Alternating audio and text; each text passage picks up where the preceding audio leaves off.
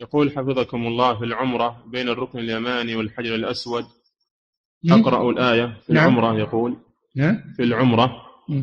عند الطواف بين الركن اليماني والحجر الأسود.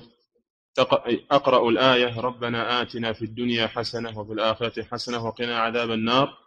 وأقول اللهم إني أسألك العفو والعافية في الدنيا والآخرة.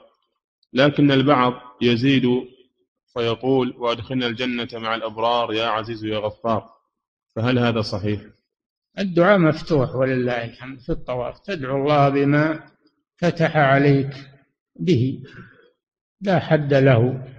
لكن لا تلتزم دعاء معينا.